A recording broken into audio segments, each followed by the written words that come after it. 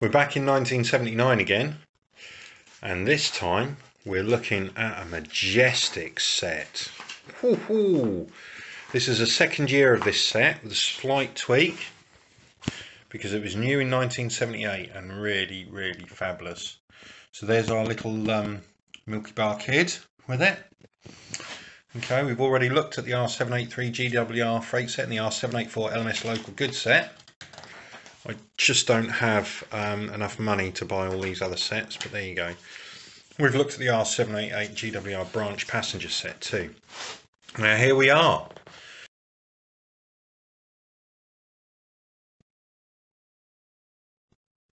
The R791 LMS Express passenger set. The LMS Coronation class and the matching express rolling stock of the late 1930s were designed by Stanier with sustained high-speed running in mind. The impressive Hornby set recaptures the power and speed of the halcyon days of railway travel. This contained the R066 LMS Coronation Class 462 Duchess of Sutherland, two of the R433 LMS composite coaches, that's first and third class you and I, two of the R434 LMS brake third coaches,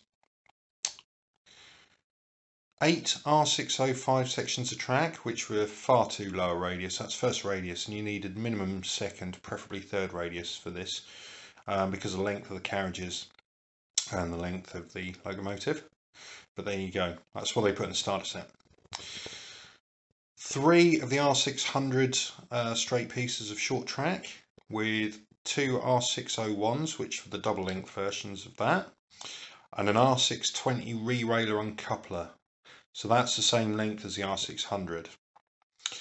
You also got an R602 power clip, an R629 level crossing, signals, two of, a home and an away, a card tunnel and the catalogue.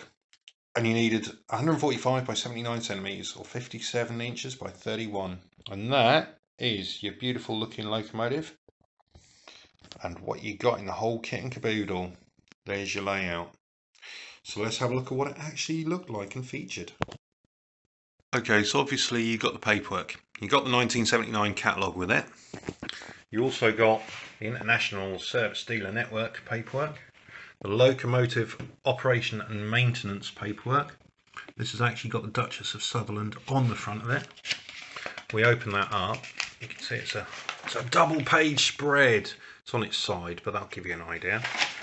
So this shows the various different motors in the various different um, locomotives available at the time, including that one at the back there. So there's your tender drive for the Duchess class. Your train set operating instructions, front and rear and a price list. So let's have a look here. What have we got? The LMS Express Passenger Set. £41.45 or £47.42 with the power controller. So you're talking quite a bit of money there. So 1979, 50 quid wasn't peanuts. You could probably get the Sex Pistols for that.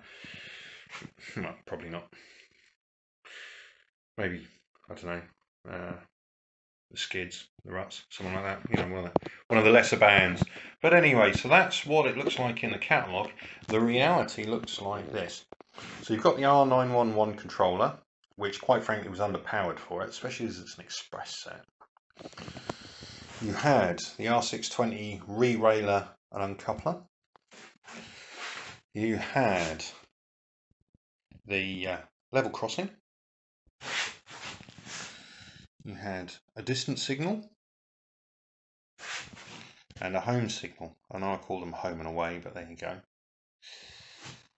You had the card tunnel. You had the power clip. But what we really want to know is about the train. There you have it. The LMS Princess Coronation class, the Duchesses. So this is the Duchess of Sutherland with her rake of four coaches spreading into the background. So what I'm going to do is shift myself over here get a look as they come round.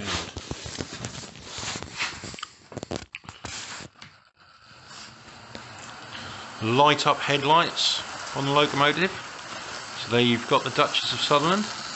You've got the brake third, the composite third and first, composite third and first, and another brake third. In that order.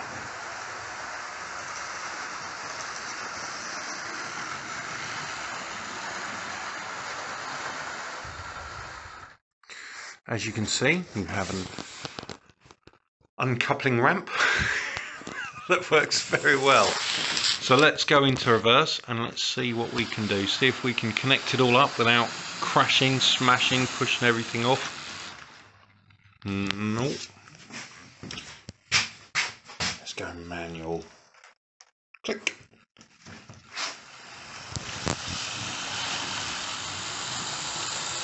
Look at that. Aren't they just beautiful? So the first time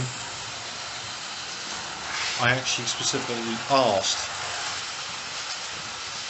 for a locomotive, it was for a Duchess class, the Duchess of Abercorn, which featured in the mail set of the 1981 catalogue. My parents managed to get me the Duchess.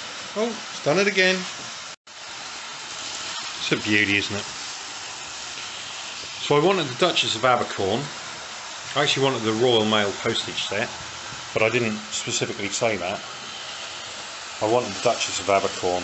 And um, my parents hunted high and low for that until eventually they found it. All around Norfolk and Suffolk they went and eventually got it at Langley's and Norwich. So as you can see this is a far larger layout than previous ones that I've depicted little GWR freight set and branch passenger sets. So you've got the the circles, then you've got obviously one section of 16.8 which would be your smallest oval. Then your next oval up would have two sections of it.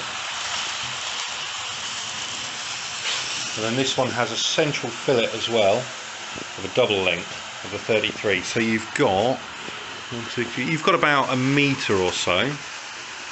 16, 32. So you've actually got a metre in between the circle formed by the two halves of the R605 curves, first radius curves.